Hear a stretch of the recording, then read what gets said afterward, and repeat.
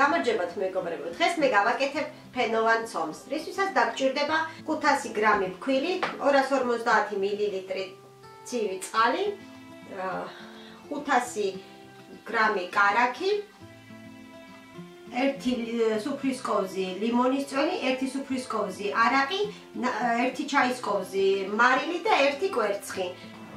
ნაღების караქი გავყავი ორ ნაწილად. 50 გრამი გავადნე და უნდა უქნათ ცომში შიგნით. 450 გრამს ზემოდან წასასმელად. გაჩვენებთ ახლა ვიდეოში როგორ გავაკეთებ. დავიწყოთ ცომის მომზადება. წყალში ჩავასხათ ლიმონის წვენი. არაყი. მარილი.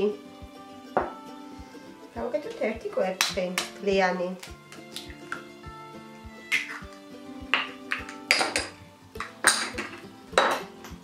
და გავწიფო, გავხსნათ მარილი. ეთქვეფას არ საჭიროებს. წინასწარ გაძრილ ფქვილში ჩავასხოთ ჩვენი მზადებული მასა. ჩავასხოთ კარაქიც. უმჯობესია მოვზივოთ ახლა ხელით.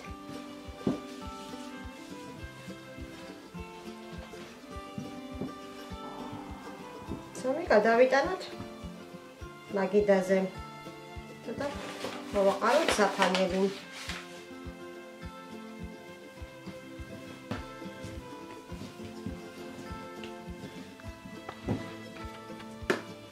ესეთი ფაფუკი ცომი გამოგვივიდა. ცომი ჩავდეთ ცელოფნის პარკში. და დავასვენოთ ცოტა ხანი მანამდე მე მოვამზადებ კარაქს პერგამენტის ქაღალდში.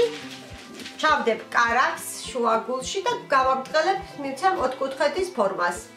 გაჩვენებთ ახლა როგორ.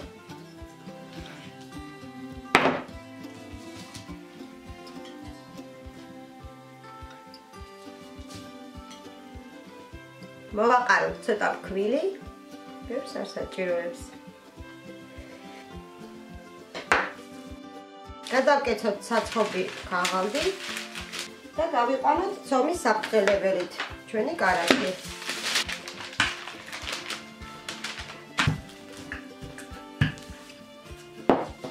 ასეთ ფორმაზე გადავანაწილე ჩემი კარაქი. მივიღე ერთი ფირფიტა. ამას ჩავდებ ახლა მაცივარში, რომ გაცვიდეს ცოტა ხნით. მანამდე გავარტყელებ ცოლს. ჩვენმა ცომა უკვე დაისვენა.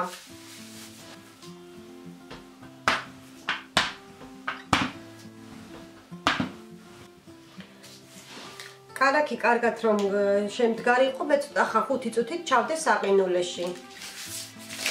მოხსნათ ქაღალდი.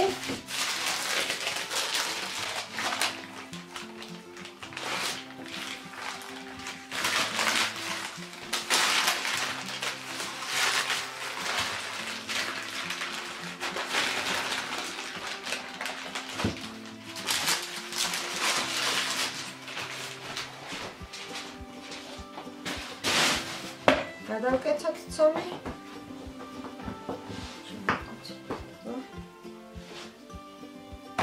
და შევუკრათ პირები.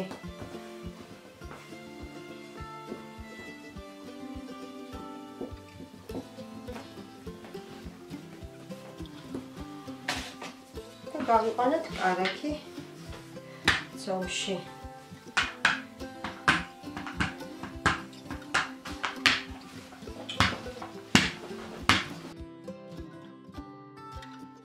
ცომში. გადმოგეცოთ ცომის ერთი მხარე აქეთ. ცომის მეორე მხარე აქეთ.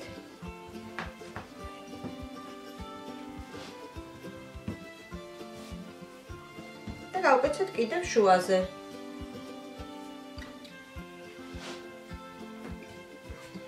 ეხლა ჩვენ მივიღებთ 8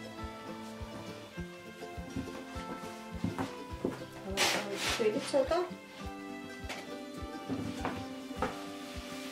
და კიდე გავაბტელოთ.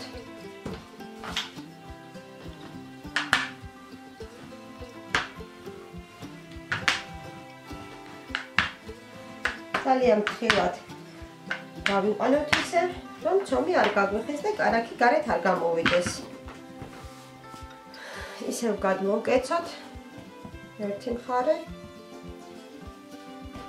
მეორე მხარე ეხლა გახდა 16 ფენა აქედანაც 16 ცოტა გავაშუალებთ ცოტა გავაკეთოთ ის მოვაყრი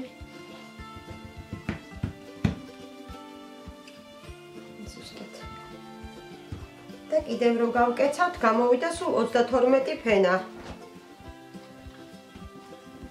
ესე. ეხლა ჩავდოთ ცელოფანში და შევინახოთ 1.5 საათი მაცივარში. გავიდა 1.5 საათი, გამოვიღეთ ჩვენი ცომი მაცივრიდან. ისე გავატოვოთ.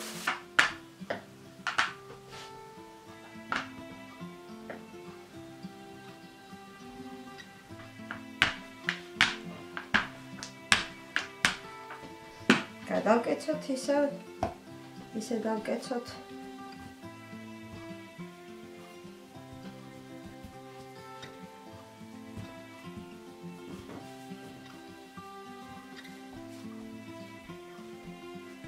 ისე ისეთი გადაკეცვით.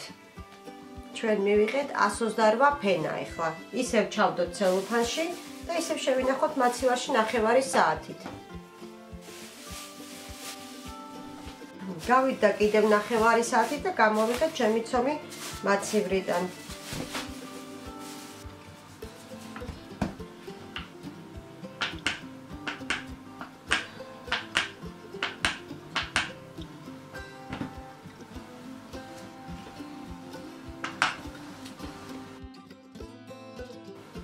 გადავკეცოთ ისე ვისე. ეხლა მივიღებთ 512 ფენას.